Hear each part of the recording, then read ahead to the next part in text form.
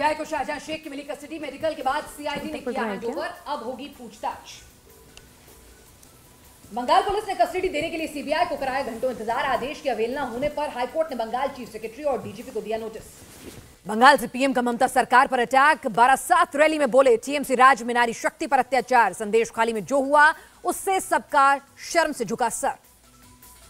संदेश खाली से आई पाँच महिलाओं से मिले पीएम। दिया भरोसा कहा चिंता न करें हम आपका ख्याल रखेंगे।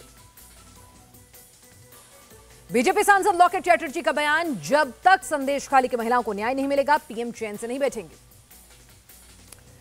पीएम पर सीएम ममता बनर्जी का पलटवार, ये सिर्फ़ चुनाव के समय आते हैं, बंगाल की छवि को कर रहे हैं खराब। बिहार के बेतिया से पीएम मोदी का लालू यादव पर डायरेक्ट अटैक, कहा बिहार में जंगल राज लाने वाले परिवार युवाओं के सबसे बड़े गुनहगार। पीएम मोदी ने कहा, जंगल राज वालों ने सिर्फ़ अपने परिवार की चिंता की, बिहार के लाखों नौजवानों का भाग्य छीना नौकरी के लिए इन्हें पलायन करना पड़ा। मुंबई में महाविकास अघाड़ी की आज की बैठक रही बेनतीजा। जितेंद्र अवार्ड बोले, सीट शेयरिंग पर नहीं हुआ फैसला, जल्द मिलेंगे अच्छे रिज़ल्ट। संजय राउत का एमवीए में मतभेद से इनकार, कहा, सीट शेयरिंग पर सभी बातें लगभग लगभग तय। एनसीपी प्रदेश अध्यक्ष सुनील तटकरे ने ठोकी ताल, कहा, महायुति में बारामती सीट मिली तो अजीत पवार की पत्नी सुनेत्रा होंगी उम्मीदवार। सीट बंटवारे को लेकर एनसीपी नाराज़ नहीं, छगन भुजबल बोले, एनडीए का महाराष्ट्र की पैंतालीस से ज़्यादा सीटें जीतने पर है फोकस पीएम मोदी पर टिप्पणियों के बीच राहुल गांधी को चुनाव आयोग की नसीहत, सोच समझ कर बयान दें। एमपी में कांग्रेस की न्याय यात्रा का आखिरी दिन, राहुल गांधी बोले, आदिवासी इस देश के असली मालिक, ये आपको जंगल, जल और ज़मीन का अधिकार नहीं देना चाहते। मल्लिकार्जुन खड़गे का पीएम पर तंज कहा, जिस घर में टीवी पर मोदी की तस्वीर आई, उस घर में दरिद्रता आ गई। गृहमंत्री अमित शाह का बयान, यूपीए सरकार के समय में मुद्रास्फीति डबल डिजिट में थी, हम पाँच फ़ीसदी के नीचे लाए। अमित शाह के बयान पर अनिल देशमुख का पलटवार, महाराष्ट्र की जनता से पूछे, शरद पवार ने राज्य के लिए क्या किया? टीएमसी के पूर्व नेता तोपस रॉय, बीजेपी में हुए शामिल, सुकांत मजुमदार और शुभेंदु अधिकारी ने दिलाई सदस्यता। लोकसभा चुनाव से पहले यूपी में सपा और बसपा को झटका, कई नेताओं ने बीजेपी ज्वाइन की। यूपी के मंत्री ओपी राजभर का बयान, यूपी में एनडीए जीतेगी, कहीं कोई मुकाबला नहीं। ओडिशा में बीजेपी की ताकत बढ़ी, बीजेडी और कांग्रेस के कई नेता हुए शामिल, धर्मेंद्र प्रधान बोले, पीएम के विजन को साकार करने में निभाएँगे भूमिका।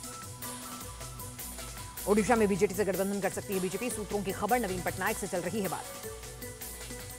दिल्ली हाईकोर्ट से बीजेपी के साथ विधायकों को राहत निलंबन हुआ वापस। बीजेपी नेता विजेंद्र गुप्ता ने हाईकोर्ट के फैसले का किया स्वागत। कहा, हमें न्याय मिला, फिर से विधानसभा में रखेंगे अपनी बात। पंजाब विधानसभा में बजट के दौरान ज़बरदस्त हंगामा। स्पीकर के आदेश पर मार्शल्स ने कांग्रेस विधायकों को सदन से बाहर किया। सदन से बाहर करने पर भड़के कांग्रेस प्रदेश अध्यक्ष अमरेंद्र सिंह। कहा, मार्शल से बाहर करवाकर हमारा अपमान किया। अमरावती से सांसद नवनीत राणा को मिली जान से मारने की धमकी, पुलिस ने मामला दर्ज कर जाँच शुरू की। बागी विधायक सुधीर शर्मा पर एक्शन, मल्लिकार्जुन खड़गे ने एआईसीसी सचिव पद से हटाया। बागी विधायकों पर विक्रमादित्य सिंह का बोलने से इनकार कहा, हाईकमान को उनकी भावनाओं से अवगत कराया। गुलाम नबी आज़ाद ने डीपीएपी के पहले उम्मीदवार का ऐलान किया उधमपुर डोडा लोकसभा सीट से लड़ेंगे जेएम सरूरी लोकसभा चुनाव लड़ने पर बोले गुलाम नबी आज़ाद, अभी कोई फैसला नहीं किया। खेलो इंडिया के एथलीट्स को केंद्र सरकार का तोहफा, अब सरकारी नौकरियों के लिए योग्य होंगे एथलीट्स, खेल मंत्री अनुराग ठाकुर ने दी जानकारी। मणिपुर में एनआरसी लागू करने की तैयारी में सरकार, सीएम बीरेन्द्र सिंह बोले, ज़रूरी कदम उठाने के लिए केंद्र को भेज रहे हैं सिफारिश।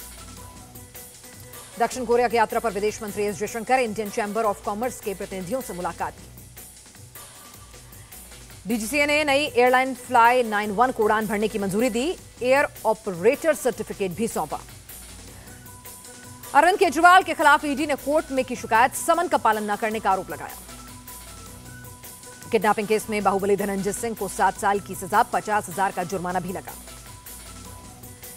बंगाल के आंगनबाड़ी वर्कर्स को सीएम ममता की बड़ी सौगात, अप्रैल से वेतन में साढ़े सात सौ रुपए की बढ़ोतरी। लखपति दीदी सम्मेलन में ड्रोन उड़ाते हुए दिखे सीएम खट्टर, कहा, कृषि में मदद के लिए महिलाओं को पाँच हज़ार ड्रोन देंगे।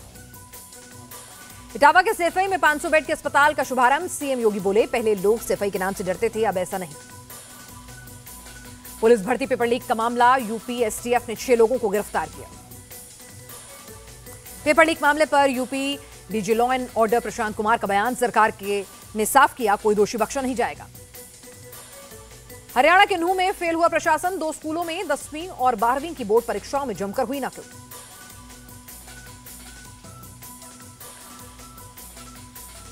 एमपी में ओलावृष्टि से प्रभावित इलाकों का ज्योतिरादित्य सिंधिया ने किया दौरा, बोले एक किसान को दिया मुआवजा। इंडिया गेट के पास कर्तव्य पथ पर युवक ने फोटोग्राफर पर किया चाकू से हमला, पुलिस ने आरोपी को गिरफ़्तार किया। डॉलर के मुकाबले रुपए में सात पैसे की बढ़ोतरी, एक अमेरिकी डॉलर बयासी दशमलव आठ तीन पर रहा। शेयर मार्केट में आया रिकॉर्ड उछाल सेंसेक्स चौहत्तर हज़ार के पार पहुँचा, निफ्टी में एक सौ सत्रह अंक बढ़ा।